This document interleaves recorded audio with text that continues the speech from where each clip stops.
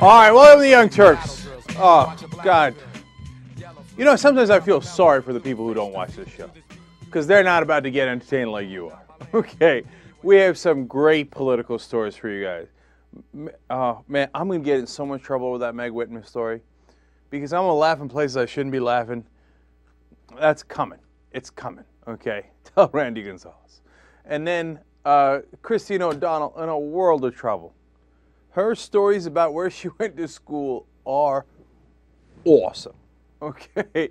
And then uh, later in the program, I'm going to debate uh, someone who believes Nancy Pelosi is like some sort of gangland political leader, etc. We're going to have an awesome, you know, interaction there, is my guess.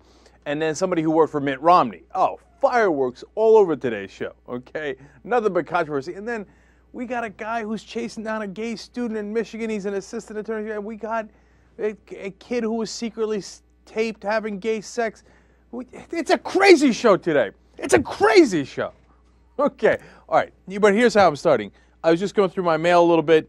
Uh, one of our original 10 members, I don't know if, you, Dave, if you want me to give your full name, so I'll leave it out. But I got what you sent me. It's awesome. Nothing to do with his campaign at all. Just one of our members who sent it in. Oh, come on. Come on. Okay? No, no, you think that's good. You think I'm wearing this every day. There's no question about it, right? You're going to see this around the house. But get a load of the back. It's because he has a spine. Oh, instantly my favorite shirt. instantly. Okay. you know what? Now, I, I, you know, some people are accusing me of doing one long ad for uh, Russ Feingold. That's right. I am. I'm going to continue. You know what, JR? For no reason. Clip number six.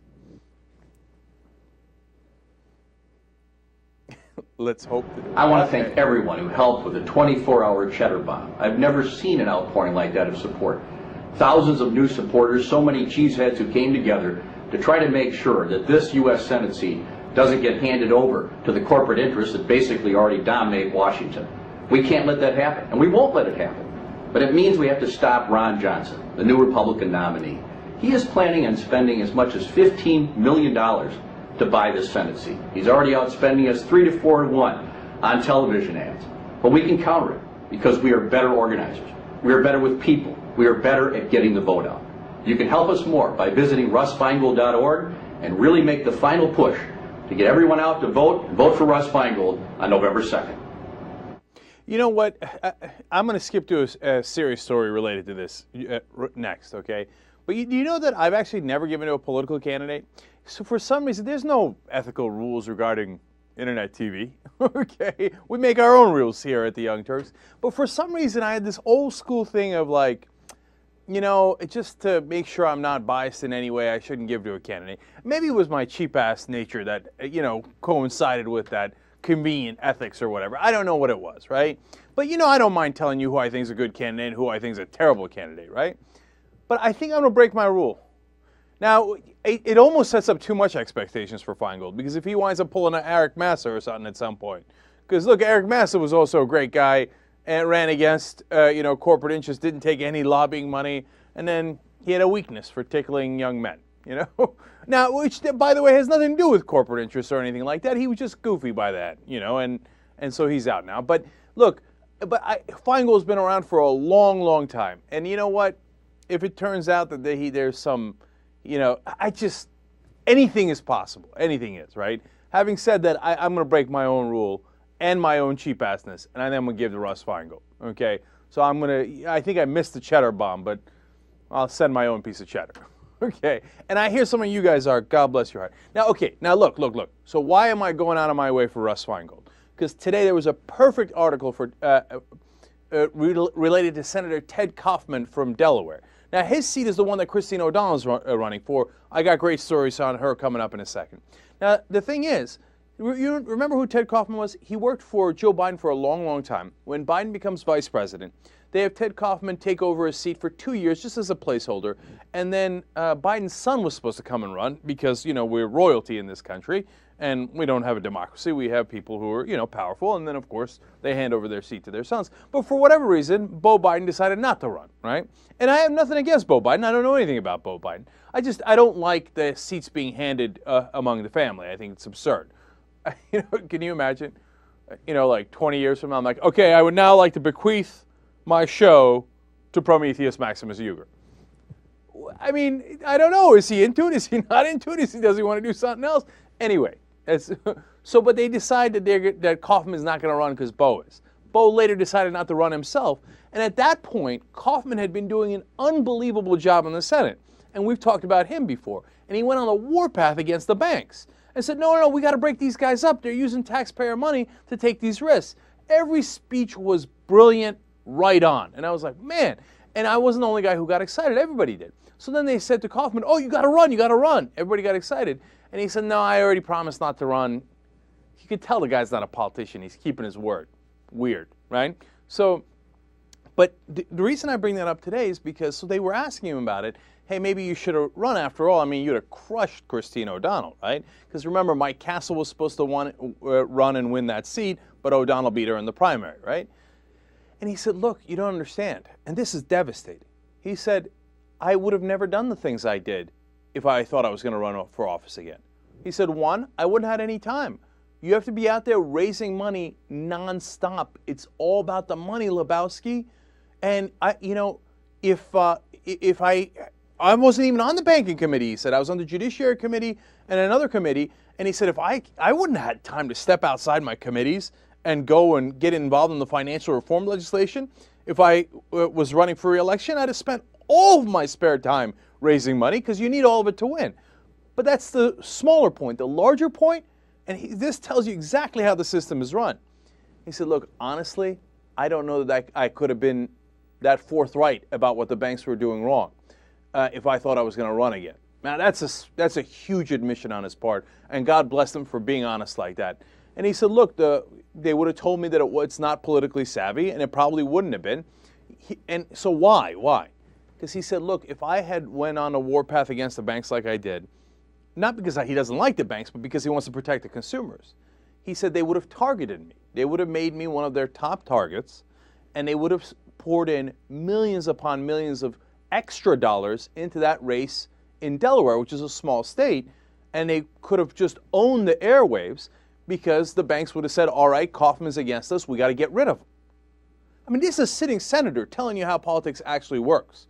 And he said, the system is, there's a quote, the system is so awful. He said, there, there's only one way around it, and that's public financing of campaigns. He said, but in the current Washington climate, he said, it's not even close to a possibility. The Democrats would be, are scared to bring it up. The Republicans, of course, want no part of it. And so the, the money dominates and crushes everything in its path. It's, it's a fascinating uh, interview with Kaufman. Uh, and uh, I'll tell you what, so that's why I bring it up in the context of Russ Feingold. Senator Feingold has definitely been targeted for elimination because uh, the large corporations that he goes after all the time can't stand Feingold. So the minute Ron Johnson ran, jumped in the race, and he's a multimillionaire himself, and he's spending uh, millions of dollars of his own money, but the rest of corporate America, the banks, et cetera, were like, oh, let's go, let's go get him, let's eliminate Feingold to get rid of our headache. He's one of the few left that are actually honest and, and principled.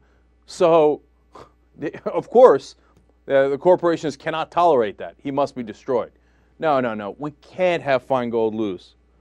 What a terrible precedent. And he'd be one of the last good soldiers. We can't have it.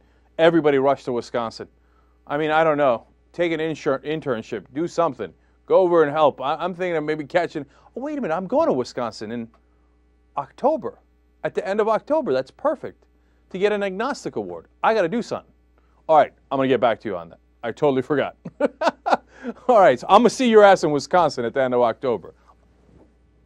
Hold on. I got to tell you what's going on here, and you know what's coming. Tell your friends, tell your neighbors, tell Randy Gonzalez, I'm coming. and I'm going to bring my tools and my weapons. okay. So now, look, we that's very serious and very important stuff. But now, time to have some fun. Now, uh, there's a woman named Nicandra Diaz Santillan uh, who apparently used to work for Meg Whitman. She was her housekeeper. And uh, she's apparently undocumented, meaning that she has no documents. So uh, Meg Whitman, once she's decided that she's going to run for uh, governor of California, had to get rid of her. Okay. Now this story's complicated and it's not clear cut. You know, did Meg Whitman do something wrong? It, my final analysis is yes, be, largely because of the hypocrisy, right? Um, and, and let me give you that quote. Actually, here's Meg Whitman uh, talking about illegal immigration and how it's unacceptable.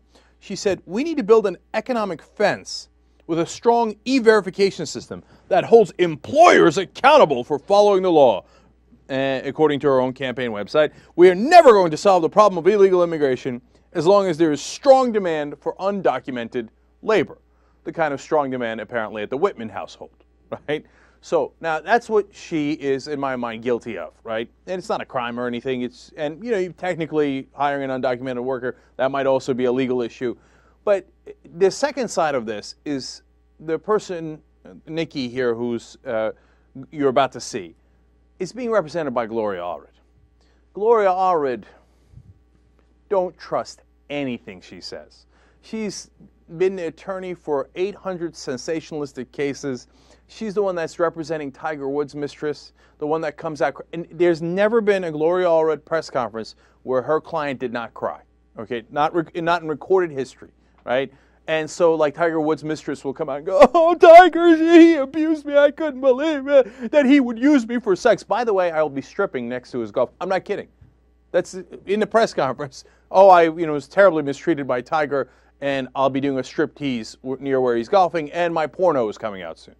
So I don't trust anything Gloria Allred says. So take this with a huge grain of salt. And so the two issues are is she a hypocrite? And if we believe Nikki that she's undocumented and was working for the Whitmans and, and was fired, and based on the evidence, I do believe her, then Whitman's a hypocrite. The second issue is did Whitman somehow abuse her? All right, look, the only piece of evidence that they give is that sometimes Nikki would work she was supposed to work 15 hours a week, and sometimes she'd work longer. But Whitman, Whitman wouldn't necessarily pay for the extra time. okay, look, I'm not going to get into the details of your contractual business with your, you know, the person keeping your house. Come on, come on. That's not a real issue, right? So now, as for, but so you can judge for yourself. We have Nikki with the press conference, with Gloria Allred, with the tears. Go. On Monday, June 22nd, 2009, Ms. Whitman left me a voice message and said that she had not yet contacted her lawyer, but under no circumstance I was I to show up to work or stop at their house until she had a response. Then, on Wednesday, June 24, 2009, I received her call and she told me I talked to my lawyer and he told me we cannot do anything for you. She said, I cannot help you.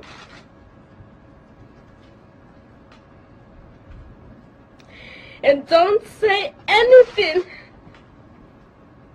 to my children. I will tell them you already have a new job and that you want to go to school. And from now on, you don't know me and I don't know you. You never have seen me and I have never seen you. Do you understand me? And then I said, Meg, please, can you help me? And she was very upset and said, No, and you don't know me, and I have never seen you, and you've never seen me. She yelled, Understand me?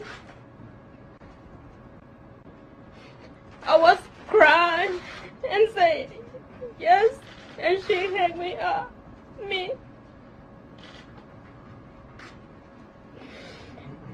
I was shocked and hurt that Miss Whitman would treat me this way after nine years I realized at that moment that she didn't appreciate my work. I felt like she was throwing me away like a piece of garbage. I don't feel like I deserve to be treated this way. She treated me as if I was not a human being.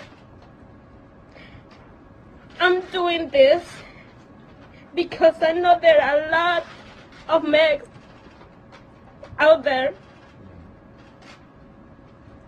who are mistreating the Nikis who worked so hard for them. I hope that no one else in my position has to suffer the way that I did.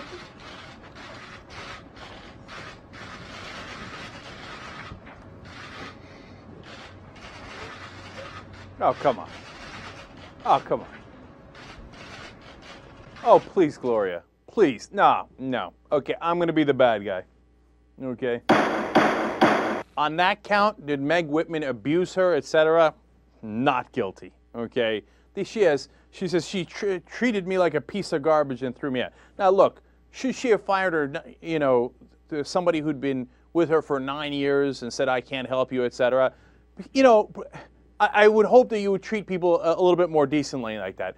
But did she, according to her, uh, Nikki, she felt exploited, disrespected, humiliated, and emotionally and financially abused. No, come on, wait a minute. You just okay. Look, here's what happened. You used to work 15 hours a week there. Now you don't. No, no, all the crying. I look. If I believed it, then I'd feel bad for her. I don't believe her. I, Gloria Allred is pumping her arms. Oh, cry, cry. We're gonna get money from Meg Whitman. We're gonna cash in. And by the way, I don't know how they don't auto tune that. That's got to happen tomorrow, okay? You don't know me, and I don't know you. I never seen you, and you never seen me. Okay, that's coming. It's coming, okay? So, no, not buying it. And you know what's going to happen at the end? Gloria Allred's going to get this poor woman kicked out of the country. She's undocumented, okay? She's going to bring this case trying to cash in. Maybe Allred gets her, you know, piece of the pie here. And then what's going to happen? They're going to be like, wait, you, are here illegally, and they're going to kick her out of the country. It's a terrible idea, okay? So, look, if you thought Meg Whitman was the champion of making sure you get tough on immigration, no more illegal immigrants, you know that's a joke. You know she's a hypocrite. And you know she was never going to bust the employees that hire undocumented workers like herself. But if you think she abused this woman because you trust Gloria Allred and the crying press conference, I'm not with you on that. Not buying it at all. I never seen you. And you never seen me. All right, eh, now let's talk. Am I the bad guy? Oh, for making fun of her, her, her press conference. Yes. Well, not the press conference. Maybe for her accent and everything. Oh, okay. I am okay. Jesus, am I guilty? No, I wouldn't, because I'd make fun of her too. Okay. All right. It's close, though. Close. We thought about it, okay? And uh, one other thing. By the way, why are they doing all this, right? Because Meg Whitman has deep pockets. You know, in 2007, she had a disagreement with somebody on eBay. She's the boss, of course. And she apparently pulled this woman, young woman, young Mi Kim, uh, into, uh, a, into some sort of uh, room to talk to her, but apparently shoved her while doing it, okay? Now, that's crazy. You're in a professional environment. You can't shove somebody, right? So, of course, uh, you know, she sues, right? You know how much she got? For a little, like, you know, for a little. Rough talked him and run him off. Okay, she, you know, she'd run young Mi Kim off a little bit. The settlement is reported at $200,000. Oh, Meg, please come here and push me. I'll let you push me around from this end of the studio to that end of the studio. I'll let you push me all the way into the back room. $200,000. $200,000. Okay, now look, I know there's got to be consequences. The boss is crazy. You can't be pushing people around, right? But once that happens, right, that's it. Then the Gloria Allreds of the world are like, let me look around. Let me look around. Let me find somebody. And she sees Nikki and she's like, all right, Nikki, here's what you're going to have to do, okay? you say you feel terribly exploited and abused and humiliated. All right, one other thing here. Last quote from here. Uh, she, uh, oh, Nikki also said at the press conference, I told her that I don't have papers to work here and need her help. And apparently, Whitman's husband said uh, was very angry and said, "I told you, I told you she was going to bring us problems." Miss Whitman turned to him and said, "Calm down, calm down." She said Whitman's husband yelled at her. I was crying for fear and intimidation. With face full of tears, I told them, "I believe in people. I believe people deserve a chance." I also told them that I don't wish them any harm. I just wanted their help. What do I get out of that story? The husband was totally right. Okay, it was going to be trouble, and it was trouble. You can't run as a tough guy Republican that's totally, yeah, let's get tough on immigrants, and be like, oh, you're undocumented? Who cares? Come on, come on, come on. Uh, you'll, you'll be cheaper, right? You'll be cheaper than the people who are documented. Great, fantastic. By the way, Meg Whitman, you have like a gazillion dollars. Why don't you hire someone who's legal? What, you can't pay an extra two bucks an hour? People are so stupid. Yeah. Um, I, I, there was also some things that the Whitman camp put out. Um, I'm not sure the origin of all of it, but they were saying these are the original papers that she forged when she hired her. Uh, you know, like social security card, driver's license, um, and it's this coming from um, our girl that, that's doing the crying right now. Um, yeah, Nikki, the other Nikki's of the world. You know, and then tax information like this. So I mean, I don't know. This, this is some of the stuff that they're just putting out there saying this was the actual documentation. So we were fooled from the beginning. I don't know. I'm just saying this. this yeah, this yeah. is the Whitman No, no. stuff. I, and, you know, look, I'd believe it too. I mean, I, I don't know. You'd have to really get into it. Here's who I don't trust at all: Gloria. So take everything she says not with a grain of salt, but with a granite of salt. All right. Now, when we come back, let's make fun of Christine O'Donnell and uh, who else do I want to make fun of? I got one other great target for you guys. Oh, James O'Keefe, the guy who went after Acorn, the pimp, etc. What a wonderful moron. All right, Young Turks. All right, back on the Young Turks. Uh, what's over under on the chance that you don't know me and I don't know you winds up on the soundboard? Okay, I- I'm the bad guy. I continue to be the bad guy. All right, now uh, let's let's have a little fun with Christine O'Donnell, although she would probably be against that. So uh, she's running for Senate seat, of course, in Delaware. Now she's said many dubious things about evolution and masturbation and how she's going to stop the whole country from having sex, all that fun stuff. But uh, she's also said some very dubious things about her own collegiate career and uh, where she's attended university. First, she got in trouble because she said that she was taking graduate level courses at Princeton University, which of course turned out to be totally not true. She uh, had signed up to audit one undergraduate class through her employer, Intercollegiate Studies Institute. But when that didn't work out, she sued ISI for $150,000, saying that they had ruined her uh, earning power, that she would have gotten an extra $50,000 a year for three years. Hence, she was suing for $150,000 because she didn't get to attend Princeton's uh, graduate program. But you never had a shot. You, were ne- you didn't even finish college. How the hell were you going to get a master's from Princeton? They signed you up to audit one class at Princeton's undergrad. You know, she sued for gender discrimination. So let's count the hypocrisies. Here's a Republican like, oh, tort reform. Oh, these people with their frivolous lawsuits. Unless it's mine, in which case it's awesome. And I'm going to make up facts about it. And I'm going to claim it's gender discrimination when it's convenient, right? And then I'm going to put on my resume that I went to Princeton. Okay, so that's how her trouble began with her collegiate career. But it turns out she never even graduated from Fairleigh Dickinson, which is her school, until a month ago. In the middle of her campaign, finally they sent her the, uh, her degree. Okay, so that was fairly ridiculous. So then we go to point number three. She said that um, she had attended uh, Oxford University. And when I saw that, I said, wait, wait, wait, wait, come, come, come, come. Christine O'Donnell, Oxford University. so she has a LinkedIn profile where she claims that. Well, of course, it turns out she didn't really attend University of Oxford per se. She was attending Phoenix University, which once rented out a room at Oxford. go, go, go, go, go, go, go, go, go, go, go. Oh, that's awesome. And now she's running into trouble again because she claimed that she had was doing more uh, graduate work. You never even graduated until a month ago. What graduate work are you talking about? At Claremont University, of course, when reporters reached out to the Claremont University, you're going to be shocked to find out that they have no record of her attending. And when asked for clarification, her office said, "Oh, did we meant Claremont University? No, no, no. I'm sorry. We meant it was, she attended a conservative think tank called Claremont Institute. So it's one of those conservative think tanks that just have you come in and they go, Congratulations, you have attended the Claremont Institute, which she conveniently changed a couple of titles and made that Claremont University graduate division. okay. Oh, this is what Karl Rove was talking about. No, no, she's loony. I mean, she's unsettled, okay?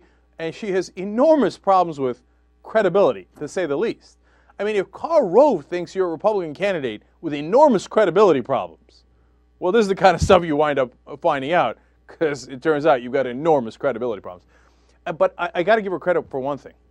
She's got some set on her, man.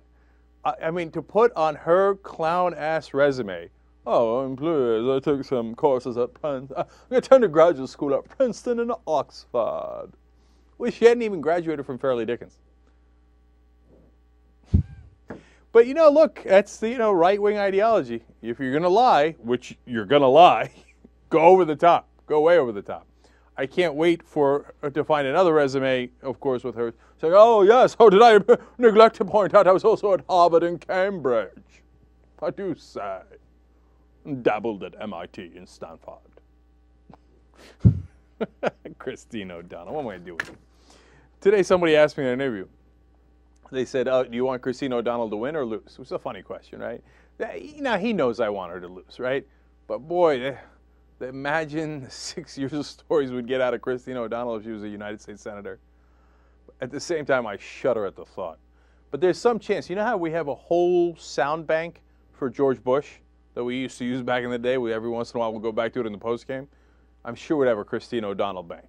Okay, but I don't want that. That would be the last thing in the world. Look, the Senate's a very serious place. Can you imagine a Senate where there's no Russ Feingold, but there's a Christine O'Donnell? Oh. And they say I, I'm trying to discourage people from voting. Are you nuts? I desperately need you to vote. All right, now, um, you remember James O'Keefe? He's the guy who he's, he's the prankster. He pulled uh, the acorn trick and got them defunded, which just makes me sick to my stomach every time I think about that and the cowardice of the Democrats to not stand up to this punk. And then it turns out, of course, they did investigations. He'd heavily edited the video. He showed himself in a pimp outfit walking into the Acorn offices. When they look at the unedited video, it turns out he never walked into the office with a pimp outfit. He had doctored the video, right? Then we saw him doctor the Shirley Sherrod video. And then based on that, Shirley Sherrod was instantly fired by the profiles and courage that existed the Obama administration. And then they had to walk that back, and then there was a controversy. So this guy's been up to this for a long time. Now, CNN was investigating uh, him and, and other conservative groups, not investigating for anything like, oh, we're going to uncover something, more like, hey, wh- what's their ideology? How do they conduct business, etc. But O'Keefe saw this as like, oh, yeah, CNN's coming to get me. Oh, I'm going to set them up. so he's going to go after this reporter that they have who was uh, on this story. It's Abbie uh, Boudreau, right? And he comes up with this crazy plan to get her on his boat, okay? And then once he gets her on the boat, he's going to try to seduce her. What? This is a reporter. What the hell are you doing? Right? And now she made a tape of what happened uh, when he she went down in Maryland because he said he he called her up and said, "Oh, I care about my privacy law. Please don't uh, you know bring anybody else or a producer. I need you to come alone." Look, if James O'Keefe tells you to come alone somewhere, don't go. Right? So she thinks, "Well, I'm on this story." She's actually won uh, prizes before for her investigations, uh, which have been which I was you know pleasantly surprised to read about. Uh, look at this, somebody working at CNN doing a great job exposing stories, etc. So anyway, that's my random shot in there. But so she goes down to Maryland, and uh, and then this is what happens. Let's let's roll the tape for you. Clip number eleven. We've been working on a documentary for months now, and the premise of the documentary is to follow a, a group of young conservatives and to learn more about the young conservative movement. But we were offered the opportunity to meet with James O'Keefe, and he's probably best known for his role in the Acorn videos where he posed as a pimp. And he said that he wanted to meet with us. So I went to Maryland to meet him and his colleague, Izzy Santa. And when I pulled up to the property, Izzy was there waiting for me. And that's when this project took a very strange turn. When I pulled up to the property, Izzy was waiting for me. And she said, I need to talk to you. Can I get in the car? And I was like, okay. So I noticed that she had um, like a little bit of dirt on her face, her lip was shaking, she seemed really uncomfortable. And I asked her if she was okay. And the, the first thing that she basically said to me was, I'm not recording you. I'm not recording you. Are you recording me? And I was, no. And she says, I need to tell you something. And I said, okay, every, is everything okay? You're making me nervous. She said, no, no, not everything. Everything's not okay. Um, I, I, I am a moral person. I need to tell you something. Well, what is about to happen? Tell me what is going on. And she said, you're about to be punked. Izzy told me the plan was to bring me close to the dock and then ask me if I would consent to having my meeting with James recorded on an audio recorder. If I said yes, she would get me on the boat, where James was waiting and where hidden video cameras were rolling. Why is his goal to get me on the boat? She said, because on the boat, he's going to be there, dressed up, and he's going to have strawberries and champagne waiting for you. And he was going to hit on you the whole time. She said the sole purpose of the punk was to embarrass me and CNN. I went to the backyard to see the boat for myself and to try to meet James, but he didn't get off the boat, so I walked back to my car. Then, right before I left, James walked up to me and explained that it would make him feel more comfortable if the so called interview were recorded. You know, that's just not something I'm comfortable with is to have this conversation recorded. Plus, it's not an interview. I mean, I'm just here to try to address your concerns about this upcoming shoot. But um, you ended up wanting me to come all the way out here. You told me we were going to be at your office, and instead you want me to come on some boat with you. And um, and you want it to be recorded. Those were ground rules you should have set over the phone, and you didn't. And he was like, "Well, what are you ashamed of?" And that's when I said, "All right, this is where the conversation ends." And um, I said to him, you know, "It was a pleasure."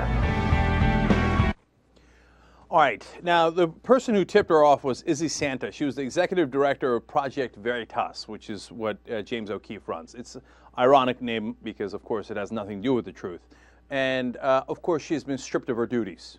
How dare you tip someone off that we were going to punk her and try to get her on a boat and try to seduce her with hidden cameras? Now, I'm about to tell you what's on the boat, and you're not going to believe it, okay? By the way, uh, O'Keefe, throughout this, keeps calling uh, Boudreau in documents that uh, are now public uh, that he had wrote as part of his quote, quote unquote CNN caper. He keeps calling her a bubblehead blonde, uh, you know, ditz basically.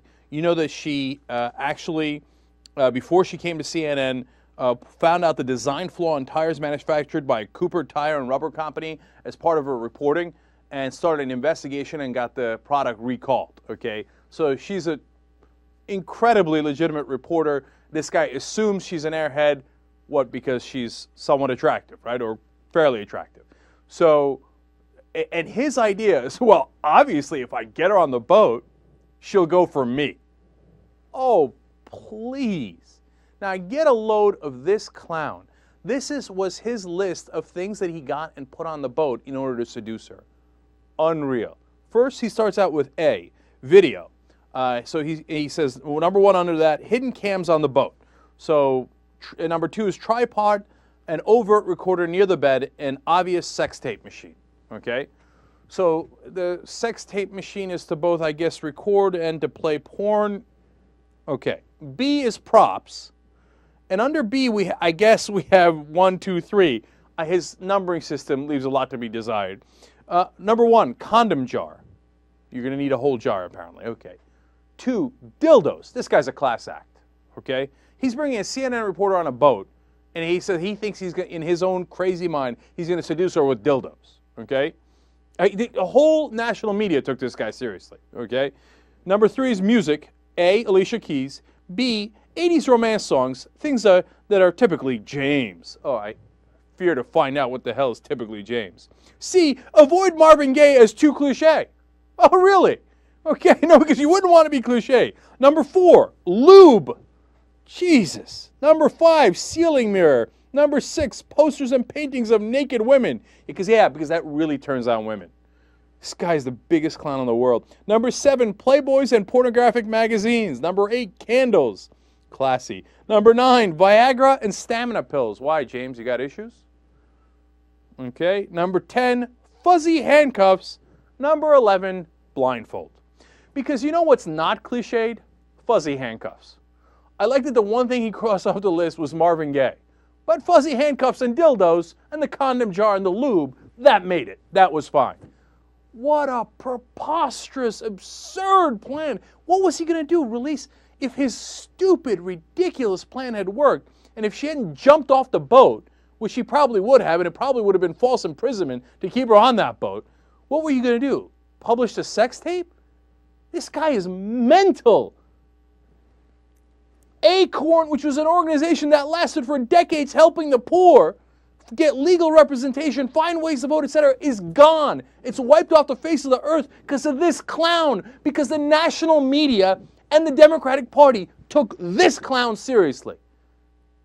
Unbelievable, man. Come on. JR. I'm I'm I'm calling a Hollywood PR stunt. Like any like washed up actress or, or someone who hasn't been in spotlight enough, he's trying to get attention. He, no way he took this serious. It's impossible. But I don't know. But he walked into that into the Acorn office dressed like that and thought the people were gonna take that seriously, and they did. But I don't know. There's too many things that are just no. No way he's this stupid. It's impossible. No, no, no. I, I think what he's thinking is I put all like the mirror and the sex uh, and the naked women and stuff, and I tape her right next to all this stuff and next to the condom jar and stuff. It doesn't matter if she doesn't do anything. You know how he selectively edits the tapes. Then he's going to edit the tape with her next to the porn and go, look at this CNN reporter. She claims to be serious, but here she is on a sex boat. You see what I'm saying? You think he wasn't going to edit that tape? What, he was going to give the raw tape? No, of course, he was going to do a hatchet job on her.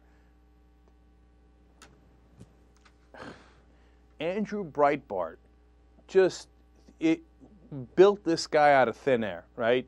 This it was a clown, young kid sending Breitbart tapes. Breitbart, who you know helped set up the Drudge Report and now runs his own websites. And Breitbart would take whatever edited crap video that this kid had and would put it on his front page. And the rest of the media, like dogs, followed him. Okay, they're like, oh, who, who, who should we fire? Who should we fire? Now, now, do you understand why I get mad at the media sometimes? Come on, man, do your job. Do your job.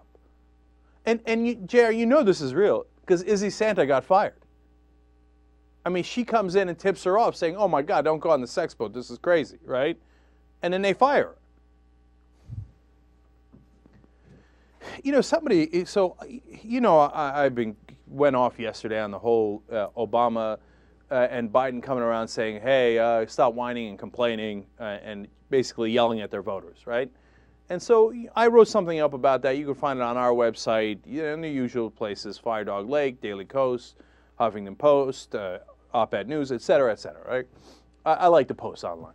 So as usual, the Daily Kos guys drive me crazy, right? So they hate it, and well, actually that's totally unfair. A lot of them loved it. It was actually the highest-rated uh, blog for a while, but a lot of them hate it. Okay, and that's fair. Everybody's got their own opinion. The only reason I bring it up is this: there's a significant number of people on that website who think that I am secretly being paid to be anti-Obama. That there are shadowy figures, okay, who are, come in and, oh, Jake, nicely job, right ahead, Obama, here's some money. Who are these people? who, who, what? JR, did, where's the paycheck? Are you taking them and not telling me? Is that what's happening? Okay, all right, I'm gonna look into it. Maybe it's Kohler, right? I mean, come on, man. People are crazy, man the reality is, and the reason I brought it up in this context is, man, I hit the media so hard all the time that it's going to get me in trouble. And one day it's probably going to cost me a lot of money. Which, and, and that's okay. Hey, I made my bed, I, and you know, and that's, that's, look, we're trying to give you the truth, and that has some consequences. But then don't come and tell me after we're going to lose a lot of money combined here because we hit the guys in power that I'm actually making money off of it. That's crazy talk. All right listen, let's say, speaking of crazy talk, quick break. Come back with Glenn Beck with another wonderful conspiracy. Young Turks. It ain't right, man. It ain't right. It ain't right. okay. We're the bad guys. Okay, uh, Casper, I hear you got a lot of fun stories for us. I do, I do, including uh, one assistant attorney general who is bonkers. Let's have at it, Hoss. All right, let's begin with him. All right, so uh, there is an assistant attorney general in Michigan. His name is Andrew Shirvell. Mm-hmm. And apparently, he is extremely unhappy about the fact that the University of Michigan uh, elected a homosexual or gay assembly uh, student assembly president. Yes, uh, because it's true. I, I've been up all night thinking about that, uh, and you know, I hear there's another gay guy in another assembly at Fairleigh Dickinson. Wh- who Why? cares? I know, seriously, it's the most irrelevant thing on the planet. I mean, I, first of all, this attorney general is an alumni from the University of Michigan. Okay. Oh, okay. Well, and then, it even given that, it amazes me that he still keeps up with who the student body president is. Like, why do you care? Why is that important? I I have a theory on why he cares. Oh, I have a theory too. I mean, we all know what the theory is already, but let me let me uh, give you more about this story. So Anderson Cooper uh, interviewed this guy, and he talks a little bit about the different types of things this assistant attorney general did. Right? For instance, he dedicated an entire blog to uh, harassing this student. By the way, the student's name uh, is Chris Armstrong. And the blog says insane things like uh, Chris Armstrong is advancing a radical homosexual agenda. Uh, he uh, goes in front of Chris Armstrong's home and yells like you're Satan and you're pushing a Satanist agenda. Crazy things. So This guy's assistant attorney general in Michigan. Yes. He's stalking uh, some gay student, Right. telling him that he's associated with Satan. He's going to his house. Come Now- on. Now we have a snippet of the interview that uh, Anderson Cooper did with him, but right before I show you that, I got to list some of the things that he did specifically. Go. Okay, so uh, he posted a photo of a swastika superimposed over a gay pride flag with an arrow pointing to Armstrong's face. Now, this is something that he posted on the blog. Uh, he protested outside Armstrong's house, calling him Satan's representative on the student assembly. He accused Armstrong of seducing a previously conservative student until he morphed into a proponent of the radical homosexual Oh, yeah. agenda. Yeah. Already you're beginning to sense our theory, okay? And it, he's got a whole blog called Chris Armstrong Watch. I bet he does. I he watches he does. very closely. so uh, let's go to the interview that Anderson Cooper had with this gentleman. Issue is gender neutral housing. What we're talking about is anybody, any any man or woman wanting to choose to live together. That's a radical redefinition of gender norms. You say this is a this is uh, all just a political campaign, though. A, you're not running for any political campaign, nor is he. He's already the student council president. He's not some national figure, and you're putting swastikas on his face and saying he's Satan's representative. That seems like below the belt campaigning. I don't know what campaigns you're used to being involved with, but don't you think that's that is beyond the pale? Well, uh, I, no, I don't think it's beyond the pale. Like I said, uh, I think you're. I sense a, a lot of anger in your voice, uh, Anderson. And I don't understand where that's coming from. Uh, as an astute observer of political campaigns, uh, you know, for many years, you know that uh, uh, these kind of tactics um, are, you know, part for the course. It appears, though, that you're obsessed with this young gay man. I mean, I've read all your blog postings. You're, you're like perusing his Facebook, his friends' Facebook pages. You're, you're making completely unwarranted accusations, unproven accusations, based on what you're gleaning from his Facebook pages. Uh, excuse me, Anderson, who said they were unwarranted and not true? Chris has never come out and denied anything. There's a reason why he isn't giving interviews, um, and that's uh, because he can't defend what's on the blog.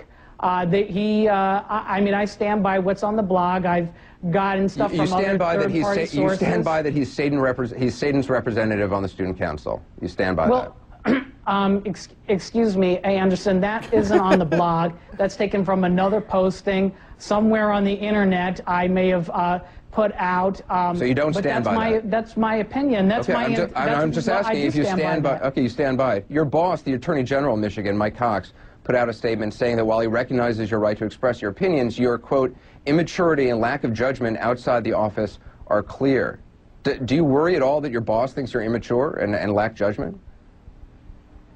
Uh, Anderson, I agreed to do this interview by stating that I wouldn't make any comments regarding my employment. Excuse me. Excuse me. Okay. now look, I put the swastika over the kid's face, but why are you so angry about it? And Anderson Cooper has never been more calm in his life. Yeah, he's totally calm. And I love the argument that he makes about uh, how this student hasn't come out and done interviews to defend himself. Because he's a student at Michigan being randomly attacked by a perv who's obsessed with him. He's like, well, you know, the student isn't granting you guys interviews, so it must mean that he is a representative of Satan. Obviously. Okay, how in love is this guy? He can't, no, he can't help himself. He's obsessed. He's like, I mean, you go to somebody's house, you go into his house, you're doing Chris Armstrong watch, okay? It's- look, it's just it's the matter of time, man, until you see a TYT story about this assistant attorney general caught outside a club with, you know, hey, I'm not saying anything. I'm just saying, you or know. doing a foot tap in a bathroom stall. Oh, come Something, on. something. Nothing nothing has ever been more obvious. And you know what? He's never denied it. He's, he hasn't denied it Excuse me. Excuse me. He's never denied it. I'm going to use his logic and Glenn Beck logic. Never denied his association with the Grey Panthers and the Marxists. okay, come on. Dude, you're a little too obvious. Okay, you're like a Marvin Gaye song. A little too cliche. Okay?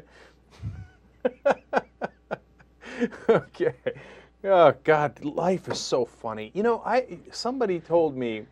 uh, Actually, a lot of people told me this. They said, "Oh, after the 08 elections, you guys are done, right?" Oh, I remember that. Yeah, because there won't be any news. yeah, yeah, news stops after 08. Yeah, that's done. Okay. And then, you know, I worked now a decent amount in the so-called mainstream media and stuff. They're obsessed with, in, in, about August. They think there's no news in August Mhm. because a lot of people are on vacation and the, and the Congress is out of session. So they're like, "There's no news." There's, a, are you kidding me? There's always some assistant Right. attorney general excusing himself at- somewhere in the country. Man, are you kidding me? And there's always somebody getting fired by Meg Whitman and someone pretending to go to Oxford and Princeton. The news is so much fun. I don't know why more people don't do it. I know. Okay. All right. So anyway, what's next? All right. Uh, a cop in San Jose, California, uh, is in a little bit of trouble after he fake arrested a 15 year old boy for sleeping with his 14 year old stepdaughter. hmm All right. So the kid is 15, the daughter's stepdaughter's 14, uh, and the cop is is the stepfather. So He's he's, not having it. He's not having it. This story is so scandalous, though, Uh-huh. because the the boy met up with the girl while she was babysitting. Uh-oh. Oh. Ah, you know what I'm saying? That's what babysitters are doing. That's what you're paying them for. Well, I didn't know that, but I do know if I could ever find it Mhm. that this cop Had enough. It's going to stop. and that he's going to be. I am going to be the cop that stops it. That's literally what he went to go do, Yes. as we see on tape here. So he goes to his kid, the kid's house, and the kid's dad starts taping the incident. Yeah, secretly, uh, through his phone, he's taping the incident. Now, the boy and his parents were under the impression that the cop was going to show up and, you know, have a conversation about it. You know, what can we do to prevent this from happening in the future? Instead, the cop comes in, guns blazing, and pretends to arrest the kid. Okay, l- by the way, his gun was not literally blazing, but he did. He made the kid drop his sprite, handcuffed him, and said, "You're in a lot of trouble, you little piece of shit." Right. Okay. So now I'm gonna get back to that in a second, but let's watch the video.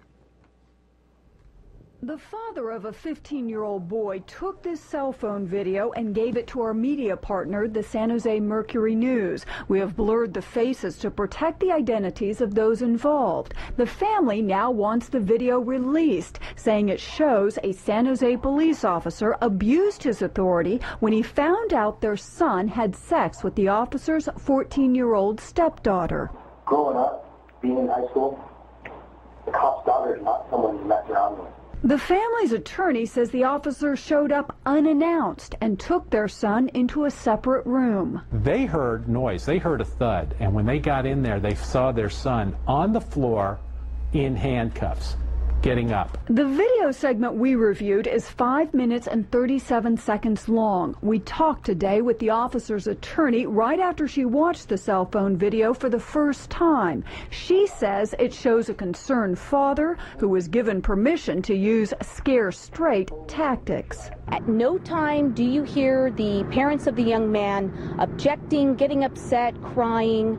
So the video uh, is absolutely exculpatory from the cop's perspective. Terry Bowman points to an early portion of the video in which the boy's father speaks up while his son is in handcuffs. Use your head. Think about what he's talking to you about.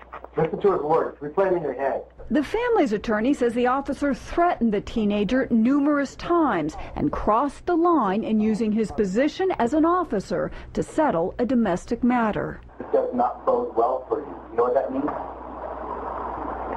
No. Not a good thing that the person you had sex with is the cop's daughter. Mr. Attorney will probably file charges. All right. So now there's a couple of awesome things in here. All right. First of all, um, I love the defense of the cop. Well, the parents weren't crying, so they must. So I was going to continue. I mean, why would I stop? right. So look, uh, should the cop have done this? Technically, no way, right? I mean, you're going in there, you're handcuffing the kid, you're telling him he's going to get arrested. The kid said he was really scared, and my favorite part uh, is in the story. They said the kid says, you know, he called me a piece of shit, and I was wondering, am I? And I started to get really, you know, worried about that. And then he's like, sometimes I mistreat my cousin, and I thought maybe he's right, right? and that really scared me, etc.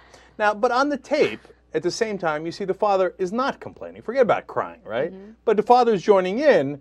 The one videotaping you is joining in and saying, "Hey, you should be thinking about what the cop is saying, etc." Mm-hmm. Now, all of a sudden, there's a little spotlight, mm-hmm. and people are smelling. I don't know if they're smelling money. I don't know if they're smelling, you know. Probably. I don't deny that at all. I mean, I, I think that that is a huge possibility. But regardless of what the parents' intentions are, the cop shouldn't have done that. Plain and simple. Like you don't you don't do that. You don't abuse your power. His whole purpose was to scare this 15-year-old boy from having sex again, right? Mhm. Is it really going to work? Well, that's interesting because at the end of the article, the kid says, "Ah, to be honest, it kind of worked." He's like, "Now I'm No, scared he- to have sex with his daughter." he- well, he's right because you know what? He was. I'm coming to your house. You're going to get it. I am going to be the cop that stops it. And it turns out he did. He didn't say it worked. They asked him whether or not uh, what he thought about teenage sex, and he said, "I wouldn't recommend it." This 15-year-old boy is going to go have sex again. Like, well, I hope so at some point No, in his life. no, at some point in his life, But, but here's what he's not doing. He's, he's not going back to that cop's house. He's not going back there. let me clarify. He's going to have sex again within a couple days. Okay. A cop coming to his house because look, everybody at this point, the media, his parents, everyone is saying the cop is in the wrong, and that's totally taking the attention away from what the 15-year-old did and focusing on the cop.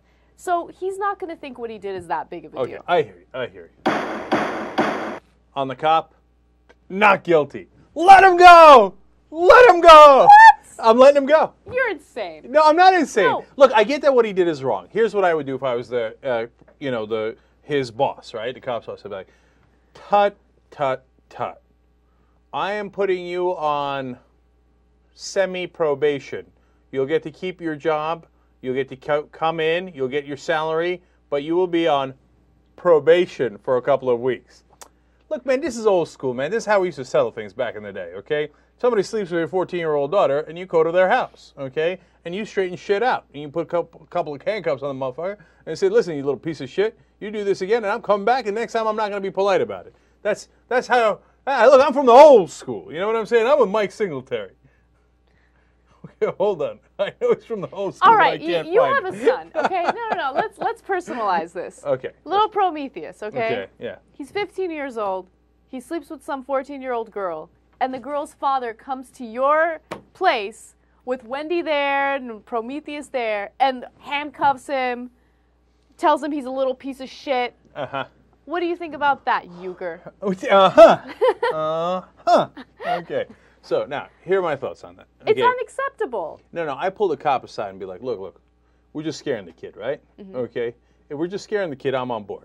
Okay? I hear you, man. Your 14 year old daughter got slept with. I hear you. He's a bad kid, all right? Uh, He's not a bad kid, but go ahead, go ahead. You, you earned it, right? Uh, but just don't do anything crazy. Don't pull a gun or anything like that. And the cop's gonna say, of course, right? Mm-hmm. And then he's gonna do what he's gonna do. And then after the cop leaves, I'm gonna say to him, hey, listen, you see that? From now on, you sleep with the fireman's daughter, not the cop's daughter. Okay. and look, you know, a little high five. But look, you know, you got to be careful. You know, you can't. The babysitter. Oh, that's good work, bro. But I'm just saying, okay. Now you got to be watch out for this guy. This guy's serious. See that isn't that how we used to resolve things back in the day, JR? By Who's- fake arrests. okay, I mean I don't know. You you knew with me? Well, this is the thing. I, I really thought I was gonna be alone on this. It was a fake arrest. Yeah. He didn't take him in. He didn't Yeah. actually arrest him and try and come up with some trumped up charges. He just scared the kid. Which I don't know if it really works fully. We're still trying to figure out. I mean, or at least we're debating that. But come on, what was the real harm? It's what was just- the real harm it's, again? It's it's an abuse of his power. Like you. he didn't do anything. Yeah, he did though. No, he did. He did. I mean, look, it's a false. ar- He shouldn't have done it. Well, we, yeah, uh, don't get me wrong. I mean, I hear you. It's you can Look, call it a false arrest because he held a kid. You know, obviously the kid didn't feel free to leave. He was handcuffed, etc. He u- misuses authority on a personal matter. I get all that. Two weeks of kind of probation. You know what No, I'm saying? and you know, let me just say one thing. When it comes to consequences for the cop, I don't even think probation is necessary. Just have someone talk to you and, you know, tell you that's wrong, don't do it again. That would be fine with me, right? Okay. The thing that worries me about this is, okay, so you don't want this this 15-year-old boy to have sex with your 14-year-old girl. That's fine, but they're gonna have sex again. They're gonna have sex again in a couple Oh. days. So why don't They, you? I'm telling you, I think you're wrong, man. Because look, he, that kid, all right. I mean, he's he's working the Let you babysitters around the neighborhood. Okay, Nothing tastes he's sweeter. in good shape. Nothing tastes sweeter than the forbidden apple. I mean, okay, look, uh, you might have experience on that. I don't, I'm not familiar with. Well, okay, I'm just. All I'm saying is he gonna think twice next time he steps in that house. I highly doubt it. I think that they should have talked to them about contraception. Oh, Here we go. All right, look. Uh, the thing is, he might have thought twice until all this hubbub, though. And that's what I'm worried about the hubbub. You see what I'm saying? Because now he feels empowered. Like, oh, the That- cop, yes. the cop was wrong, and my parents say we could have a lawsuit and maybe make money off this. Let me go hit her again. Oh, and he You will know hit hard. he will. Okay, but that's see, but that's why I don't like that we've undermined the cop's authority there. You're done. Okay, it's, all right. Then final thing, because now she's got me curious. Chief Justice, what, what are your thoughts here? I'm on board with what you were saying. I mean, yeah, I mean, it's okay to scare the kid. I, I, I mean, I'm still surprised that the kids are 15 and 14. I think that's a bigger thing to me. I'm like, she's only 14. Yeah, that's pretty damn young, right? Yeah. Yeah, and he's 15. That's amazing. Yeah. Yeah, I wasn't Yeah. anywhere close to that when I was But 15. but I, I think yeah, I think he's scared. Yeah, of course he's gonna be scared. I won't do it again. and it's yeah, if the cop came to your house, if that was your situation and you were the 15 year old kid, uh, would you think like, ah, well, what am I going to do? yeah, well, I'd be scared. I mean, if Right. he was coming to Right. arrest me, Right, but you, I mean, there ain't no lawsuit or nothing. no, yeah, totally. No, look, you got to let cops be cops. Yeah.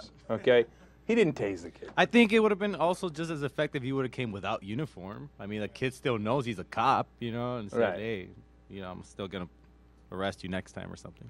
Yeah, well, br- bring the handcuffs. Borrow, uh, b- borrow James O'Keefe's fuzzy handcuffs. all right, we're all clear on it. All right, when we come back, I get, we got more students and sex. Oh, we have a tragic story. We too. do have a tragic story. All right, but- okay, all right, come back for that. It's fascinating.